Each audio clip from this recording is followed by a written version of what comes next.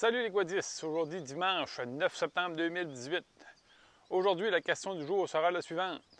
Je sais qu'il y a plusieurs secteurs au Québec que la chasse est commencée. Pour d'autres, ça va commencer un petit peu plus tard. Puis il y en a plusieurs sur le groupe euh, qu'on a des chasseurs. Fait que vous vous servez sûrement de vos quads ou vos autoquads pour aller à, votre territoire de chasse. Fait que montrez-nous euh, vos machines au travail lors d'une chasse fructueuse. Sur ça, on se revoit demain. Merci bien. Bye!